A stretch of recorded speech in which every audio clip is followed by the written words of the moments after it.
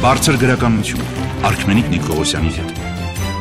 Բարձր գրականություն նախագծի հերթական հաղորդման շրջանակում գրականագետ Արքմենիկ Նիկողոսյանը եւ արձակագիր Լիլ Արամին զրուցում են հրեա գրող Ամոս Օզի Հուդա վեպի մասին։ Այն եբրայերենից թարգմանել է Ալվինա Հովանիսյանը։ Իմ բազմամյա փորձը վկայում է, որ Հայաստանում ընթերցողը շատ սպეციფიկ, շատ յուրահատուկ է, ինչու եմ սա ասում, որովհետև երբեք չես իմանա Հայաստանում որ գիրքը հաջողություն կունենա, հատկապես խոսքս վերաբերում է ժամանակակից հեղինակներին եւ թարգմանական նոր գրքերին։ Իհարկե մենք աշխատանքի ընթացքում փորձում ենք ինչ-ինչ բաներ հաշվի առնել, ահա ճաշակ, ահա մոտեցումներ, տարածված տրենդներ, չգիտեմ, այս մասին են այսօր շատ սիրում խոսել են մասին են շատ սիրում խոսել, բայց հանկարծ գալիս է մի գիրք, որը ճունի այդ քոնը շատ բոլոր հատկանի հատկանիշները, որոնց վրա դու փր աշխատել ես եւ հանկարծ գտնում է մեծ հաջողություն։ Ինձ համար իհարկե շատ կարեւոր էր հայ ընթերցողին վերջապես հնել բնագրային թարգմանությամբ եբրայերենից կատարած թարգմանությամբ հայ ընթերցողին ներկայացնել հրեա գրող Ամոս Օզի վեպերից մեկը կոնկրետ Հուդան այս պահին, բայց պետք է խոստովանեմ, որ եւ թարգմանության ընթացքում, որ Ալվին Հովանեսյանն է կատարել շատ լավ թարգմանություն է եւ հրատարակչական աշխատանքների ընթացքում բնավ չենք սպասում այն հաջողությունը, որ վեպը ունեցավ, դրա համար եթե նկատել ես դիլիտ շեշտը դրել ենք որպեսի կազմ գեղեցիկ լինի գրքի, բայց ի զարմանս մեզ շատ մեծ հաջողություն ունեցավ Ամոսոզի այս վեպը եւ ոչ միայն շատ լավ վաճառվում է գրախանութներում, այլև պահանջված է արդեն իսկ գրադարաններում եւ ավելին բազմաթիվ մարդիկ արդեն հարկ են համարել կարծիքներով կիսվել։ Դու այն մարդկանցից էիր, որ ոչ միայն կարծիք հայտնեցիր, այլ նաեւ հրապարակեցիր դա գրախոսության տեսքով, որը լույս է տեսել գրանիշ հարթակում։ Այստեղից սկսենք էլ երևի ինչը քեզ գրավեց եւ տարավեց գիրքը պատահական ընտրություններ, թե ինչ որ քաշող բան կար։ Իրականում ինձ թվում է Հուդայի ու առհասարակ կրոնական թեմաներով ցանկացած գրականություն շատ գայթակղիչ է ու ինչ որտեղ նաև վիճահարույց։ Երևի թե վերնագիրը սկզբնական տարբերակով ու նաև հաշվի առնելով այն հանգամանքը, որ հեղինակը ինքը իսրայելցի գրող էր ու ինչ որ հուդա վերնագրով, այսպես վերցրեցի, ընթերցեցի ու վեպը ինքնին անկախ շապիկից, անկախ թարգմանական հրաշալի մոտեցումից ուներ հրաշալի բովանդակություն, որը տարբերվում էր վերջին շրջանում կարդացած գրքերիցս ու երևի թե հենց ինքը այդ հարուստ ու շքեղ բովանդակությունն արդեն ամեն ինչ ասում էր գրքի մասին։ Դու էլ նկատած կլնես հաստատ, որ մի պահ կա գրականության պատմության մեջ, երբ որ սկսում է անընդհատ վիճարկվել ավետարանիչների պատմությունը։ Իհարկե բոլորս էլ գիտենք այդ 4 ավետարանիչների եւ մյուս ավետարանների հետ կապված պատմությունները, որ պարականոն, ոչ հա, ոչ պարականոն եւ այլն Հիսուսին այսպիսի մոտեցում, Հուդային այնպիսի մոտեցում, մանավանդ որ կա նաև ավետարանս Թուդայի, չէ։ Բայց չես կարծում, որ գրականությունը շատ-շատ է գնում դեպի այդ այլ մեկնաբանությունները եւ դա դառնում է մի տեսակ նաև ձանձրալի չնայած օրիգինալ մոտեցումներին։ Ես միայն այս տարի 3 վեպ եմ կարդացել այդ թեմայով Լեոնիդ Անդրեևի Հուդա Իսկարիովտացին, վերջերս խմբագրեցի եւ այդ առումով կարդացի Նիկոս Կազանդակիսի վերջին փորձությունը, մեկ այլ Քրիստոս եւ այնտեղ ընդհանրապես ուրիշ Հուդա։ Եվ ահա Ամոս Օզի այս Հուդան էլ չասած անընդհատ մեկնաբանությունները բանաստեղծություններում վիպակներում ի վերջո այդքան կարևոր թեմա է սա։ Ինչու՞մ է հեղինակի հաջողությունը ըստիս վեպում բնականաբար կրոնական թեմաները շատ-շատ ողողված են գրականության մեջ, բայց այս վեպում հեղինակը թեև իր այդ ամբողջ կենսակերպը փորձը ներեძրել Հուդայի որպես առաջին եւ վերջին միակ քրիստոնյան մարդկանց այդ միտքը հասցնելու մեջ, այնուամենայնիվ իր միտքը չի պարտադրում։ Վեպի գայթակղությունը հենց սրանում է, որ մենք ունենք հզոր ուսումնասիրություն վեպում, տարբեր աղբյուրներից, որոնք հիմնավոր են, հիմնավոր չեն, դա հարցի մյուս կողմն է, բայց այստեղ ունենք նաև հերոսի կողքին մեկ այլ հերոս, Գերշոն Վալդը, ով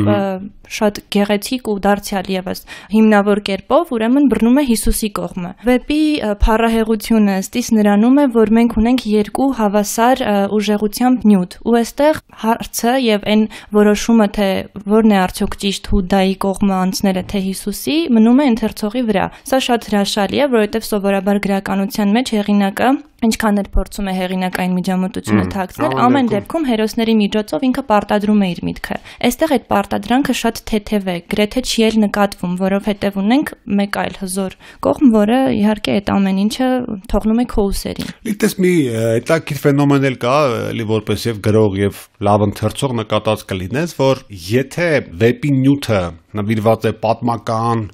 կրոնական, ինչ-ինչ կնճռոտ հարցերի վերլուծմանը, փիլիսոփայությունը, անդադ մեջբերումները, մտածողական շերտը ընդհանրապես ավելի մեծ տեղ է գրավում վեպում, բայց այս վեպի մյուս յուրահատկությունն այն է, որ շատ ընդհանրապես ստատիկ չէ, շատ շարժվող վեպ է։ Ինչ ես կարծում,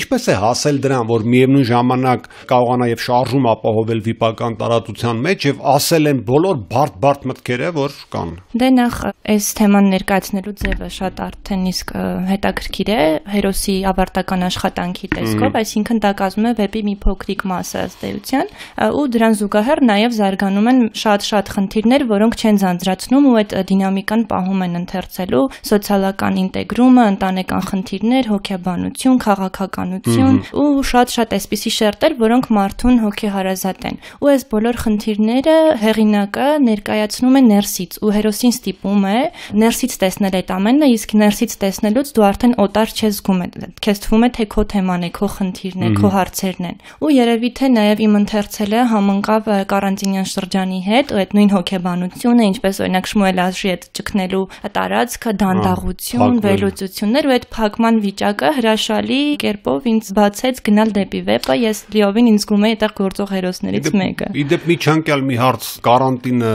փոխում էր ընթերցման դիտակետը։ Կարծում եմ այո։ Ոչ միայն այս գրքի դեպքում։ Կարծում եմ այս գրքի դեպքում դա հրաշալի համադրություն ստացվեց, բայց մյուս գրքերի դեպքում այո, ինչ որտեղ գուցե եւ ոչ, որովհետեւ այդ տրամադրությունները արդեն շատ զգուշավոր պետք է ընտրեիր գիրքը, որովհետեւ քո տրամադրությունը մեկ այլ բանով լրացնելու գիրք պետք է լիներ քո ձեռքի տակ, իսկ եթե դրանք համընկնում էին, վերջերս ունեցա մի գիրք չկարողացա շարունակել, որովհետեւ նույն հոգեբանություններ ինչ կատարվում էր իմ հետ, ինձ արդեն բան պերեդոզներ էլի։ Սա միջանկյալ մեր ունկնդիրներին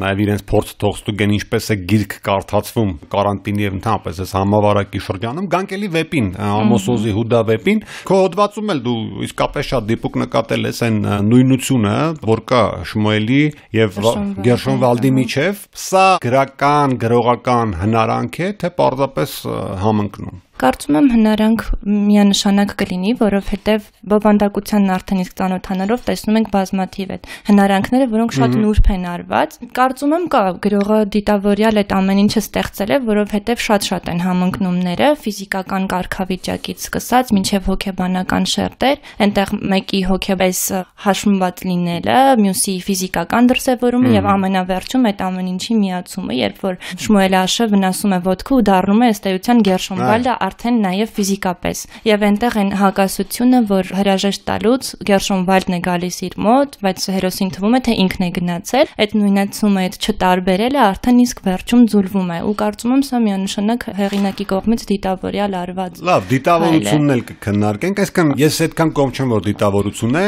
բայց ամեն դեպքում տես, ըստ էության խնդիրը Հիսուս եւ Հուդա հարաբերումից Շմուելի եւ Գերշոն Վալդի միջև կարելի ասել փոխադրվում է 20-րդ դարի արդեն հայտնի իրադարձությունները հոլոկոստից հետո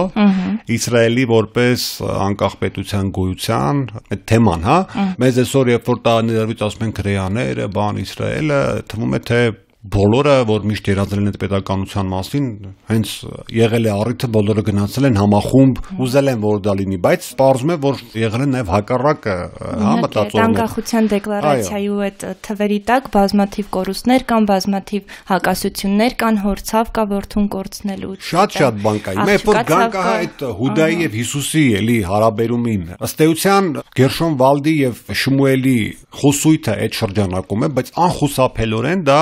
դառնում է նաև ակնար 20-րդ դարի այդ իրադարձություններին։ Որն է Հիսուսը այս դեպքում, որն է Հուդան։ Արդյոք այն մարդը, որ երազում է ունենալ պետականություն եւ լքում է ըստ էության իրենց հայրենիքը, հա, որտեվ ռեալներ դեպքում ստացվեց այնպես, որ այլ երկրներ բազմաթիվ Լեհաստան, չգիտեմ, անգամ Ռուսաստան, Գերմանիա նույնիսկ իրենց համար հայրենիք էր եւ հայրենիք գնալու համար իրենք ստիպված էին լքել հայրենիքը։ Սա ում ֆենոմենն է։ Շատ հետաքրքիր հարց տվեցիր։ Ինչ թվում է Հուդայի ու Հիսուսի այդ տարանջատումը հերոսների մեջ էլ կար ու երևի թե երկուսն էլ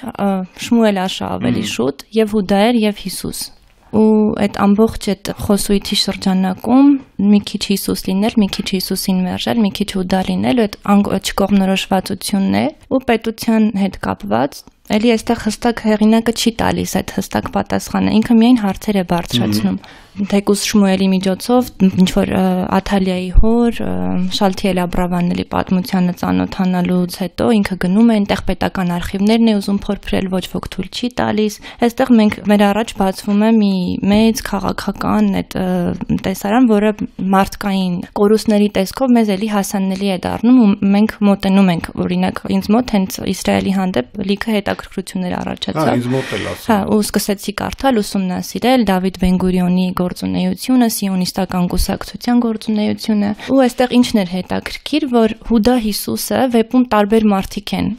Շալթիել Աբրավանելը, որ երազող էր, նաև ինչ որտեղ նաև Շմուել Աշնել իր երազող տեսակով։ Դավիթ Բեն-Գուրիոնը չէ երազող, այլ ռեալիստ, որը ինչ որ չափով ասոցացվում էր Հուդայի հետ, որովհետև ինչպես տեսանք, պետությունը չընդունեց երազողին, ով երազում էր վանդակներից ազատել մարդկանց, իսկ այդ վանդակները պետություններն էին, ինչը տեսնում ենք արաբների ու հրեաների դեպքում, երբ որ նույն պատմական անցյալ ունեցող տարածքի համար կռվում են ու երկու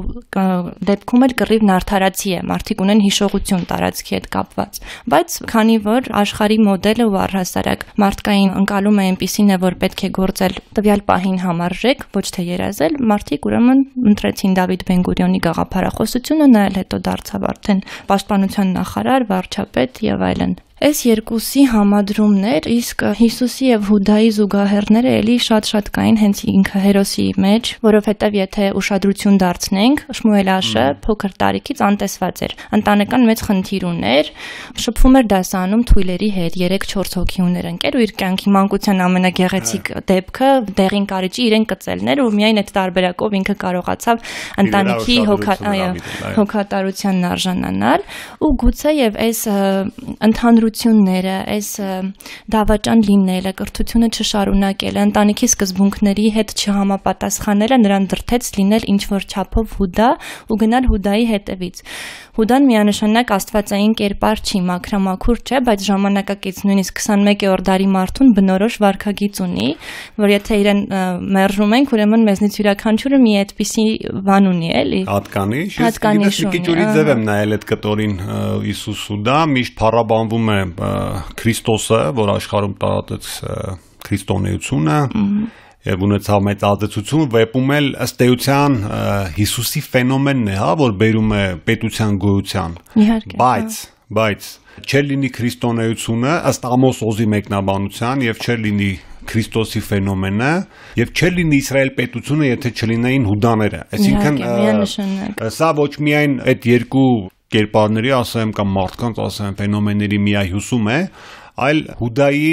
ֆենոմենի շատ-շատ յուրօրինակ ընդգծում, որովհետև ինչ եմ սա շեշտում, տես, երբ որ կա գաղափարաբանությունների պայքար կամ այդ պայքարի իմիտացիա, որովհետև երբ որ խոսում ենք նույնականությունների մասին Շմուել Աշի եւ Գերշոն Վալդի, սրանք եւ ներդաշնակ են եւ թվում է թե հակադիր են միմյանց հետ։ Ահա, երբ որ իրենց մեջ կա այս տեսակ փոխհարաբերում, թվում է թե այս վեպում ընդհանրապես կարիք չկա երրորդ ազնվորության առավել եւս կնոջ։ Ինչ գործառույթ ունի այստեղ Աթալյան գիրքը վարպահող, չգիտեմ, մարդկանց հույզերը վարպահող, թե ինչ որ կարևոր նաև գաղափարական գործառույթ կարող է ունենալ։ Գաղափարական գործառույթ միանշանակ ունի, առհասարակ Աթալիայի կերպարը շատ հետաքրքիր է, ինքը թվացial սառը, հերոսի միանշանակ շատ գազան ու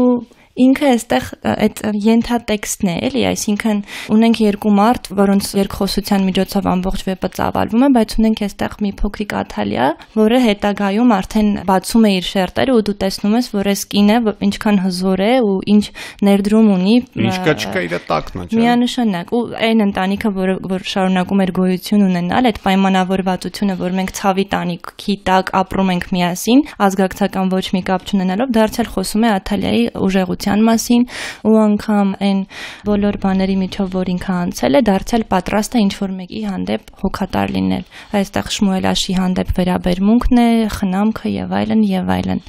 Բայց ինչպես Գերշոն Վալն էր ասում, մենք էլ տեսնում ենք Շմուել Աշը բնավ առաջինը չէր, հա, Իտալիայի կյանքում նույն ճանապարհով եկել անցել 4-5 տղամարդ առնվազն։ Սա ինչ ինչ էր արդյոք իր սեռական չգիտեմ, կրքերին բավարարում տալու համար էր այս ամբողջ փիլիսոփայությունը Աթալիայի, թե այնուամենայնիվ խորք կար դրա մեջ։ Չեմ կարծում, թե միայն սեռական ուղղվածության համար էին այդ տղամարդիկ փոխարինվել, այլ թերևս նա փորձել էր Միխայի շարունակությունը կամ գուցե այն հենարանը գտնել այդ նոր երիտասարդների մեջ, որ ինքը չմեռնի, որովհետև երբ որ չկա սեր, ուսերը բոլորին են տալիս, ինչպես ասում էր Շալթիել Աբրավանանը, որ սերը մի հոգու համար չէ, իսկ դրան Վալդը հակասում էր, որ եթե սերը բոլորին է, հետեւաբար ոչ մեկին է չի, դու չես կարող սիրել, որովհետև սերը սահմանափակ է։ Աթալյան ըստ էության այդ փնտրտուքների մեջ էր, յուրաքանչյուրի մեջ փորձում էր գտնել այդ հենարանը, որպիսի կարողանար իր շարունակությունը տեսնել կամ գոնե իսկ երջանկացնել այդ ուսանողին, այդ տղային, սակայն չէր ստացվում, բայց աշի դեպքում տեսնում ենք համակրանքը արդեն ինչ որ թեթևակի սիրահարության է վերաճում, բայց էլի Աթալիայի ցավը այնքան խորն էր, որ ինքը արդեն իսկ ներկա կյանք չուներ։ Իսկ Աթալյան հուդա էր Եթե հաշվի առնենք այն հանգամանքը, որ վեպի վերնագիրը որպես էույթ տարածական է գրքի գրեթե բոլոր հերոսների վրա ինչ որ չափով կարծում եմ այո շատ հետաքրքիր տեսանկյուններ չէի մտածել դրա շուրջ բայց կլինի երևի թե իդեպ հիմա երբ որ խոսում ենք դելի տաստատ նոր բաներ ենք բացայտում մեզ համար եւ անգամ բաներ որ կասենք կմտածենք մեր եթերից հետո էլ անգամ արդյոք սա խայծ է որպեսի մարդկանց գրավես ասես կարդացեք Ամոսոզի հուդավեպը։ Ինչով կգայթակղես մարդկանց կարդալու։ Բացի քո հիացումը, չգիտեմ եմ որ եւ այլն։ Խայծը միանշանակ կրոնական ուղղվածությունն է, որ միանգամից գայթակղում է, ինչպես ինձ է գայթակղել, ու այդ զգուշավորությունը, ոչ պարտադիր լինելը խոսքի, ինչպես նաև շատ-շատ մարդուն բնորոշ շերտեր, հոգեբանությունը, հրաշալի ինտեգրումը, անձնական հայր-որդի խնդիրները, մարդուն մշտապես ուղեկցող են բոլոր հարցերը, որ մարդը իր կյանքի ընթացքում ունենում է, այս վեպում կան։ Այսինքն վեպը միակողմանի ուղված չէ կրոնականին ու նաև ինչ որ կենսակերպի հետ կապված։ Բայց արի ազնիվ լինենք այն այն հատկանիշները, որ թվեցիր շատ վեպեր ունեն։ Ինչն է առանձնացնում հենց այս վեպը քո կարդացած վեպերից եւ որտեվ գիտես այսօր շատ շատ գրքեր կան։ Խոշոր պատառը հասնում է կրոնական մասին միանշանակ վտանգավոր հերոսին, վտանգավոր կերպարին, որը մերժված ու դատապարտված է արդեն իսկ 80 սերունդների կողմից, բերել ու դարձնել ժամանակակից մարդու նախատիպ համոզել քեզ, որ դու ինքդ մասամբ հուդա ես։ Այդ խայծը դրանում է, որ դու ինքդ սկսում ես լինել մասամբ հուդա ու քո հետ վարվում ես զգուշավորությամբ, որովհետև դա արդեն դու ես, ոչ ոչ թե գրքերում գրված մերժելի կերպար ու այդպես։ Շարունակելով Դիլիթի միտքը, ուզում եմ ասել, որ հուդա այս դեպքում չի համաբանվում սոսկ կամ առավելապես դավաճանության հետ։ Ես այս վեպից սովորեցի, որ հուդա նշանակում է ամենամեծ հավատացողը, չասեմ հավատացյալը, որտեղ են գրքի այսպես մեխային տողը, որ դու էլ մեջ բերեցիր, Հուդան առաջին, միակ եւ վերջին քրիստոնյա։ Ավելի քրիստոնյա, քան Հիսուս Քրիստոսն է։ Այո, եւ որտեվ իր դավաճանություն, անգամ եթե դա համարվում է դավաճանություն, հիմնված էր հավատի վրա։ Այն ցնցող տեսարանը կա, չէ՞, վեպում, երբ որ Քրիստոսին խաչում են, բայց մինչև վերջին վարքյանը Հուդան հավատում է, որ այո, Քրիստոս Աստված է եւ չի թողնի որ։ Հայր, ինչու ինձ լքեցիր, իսկ Հուդան դեռ սպասում է այդ վերածնմանը, որովհետեւ Հուդան հասկացել էր, որ միայն աչքով մարդը կհավատա, այսինքն սերունդը այդ հավատը, որ քրիստոնեությունը տալիս է, որ գույր հավատք է, երբ որ դու տեսնում ես, դա արդեն իսկ գոյություն ունի, Հուդան հասկանում էր, որ մարդիկ այդպեսինն են, պետք է ցույց տաս, որ հավատան։ Եվ հենց այդպես էլ եղավ։ Քրիստոսի մահը ավելի շատ տարածեց քրիստոնեությունը, քան իր գործունեության ընթացքում ինչքան որ ինքը ծավալել էր։ Ու նաև շատ մեծ հարց է առաջացնում, ինչու Հուդան կախվեց Ինչու մահացավ, եթե ինքը 30 արծաթի դիմաց պետք է դավաճաներ ու ըստ այս հեղինակի, ես 30 արծաթը չգիտեմ ինչ արժողություն ուներ, բայց ըստ իսրայելցի Ամոսոզի 30 արծաթը շատ չնչին նշանակություն ուներ եւ ըստ էության սիմվոլիկ ինչ որ մի բան էր։ Մի խոսքով, այս եւ էլի շատ շատ հետաքրքիր ֆենոմենալ բացահայտումներ կան եք։ Թզենու սիմվոլներ շատ գեղեցիկ էլի վեպում, որ թզենին 3 ժամանակաշրջանների մեջ էլ կար Քրիստոսի մարդկային հատկանիշների բաց բացահայտողը, հետո գալիս է Հուդայի տեսարանը, երբ որ ինքը այդ չորացած ճյուղից կախվում է եւ երրորդ հատվածում, երբ որ քաղաքը լքում է, Շմուել Աշը ու գնում է թզենուց պտուղ վերցնելու, ու այդ պտուղը դարձյալ չի լինում, ինչպես Քրիստոս։ Այս երեքի նույնացումն է, էլի դարձյալ։ Սելի ռադիոընկերներ հուսով եմ, որ իմ եւ Լիլիթի զրույցը գայթակղեց ձեզ ձեռք բերելու եւ կարդալու Ամոս Օզի Հուդա վեպը, իսկ եթե արդեն կարդացել եք, հուսամ մեր մեկնաբանությունները որոշ չափով կարողացան ձեզ օգնել ել ավելի խորությամբ ընկալելու այս հրաշալի ստեղծագործությունը։ Ես հիշեցնեմ, որ զրուցում էի արցակագիր Լիլ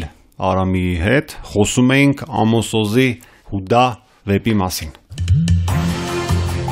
Սա իմ եւ իմ հյուրի տեսակետն էր գրքի մասին։ Կարդացեք գիրքը եւ ձևավորեք սեփական տեսակետ գրքի շուրջ եւ ինչու՞ չէ, ունեցեք ձեր զրույցները բարձր գրականության մասին։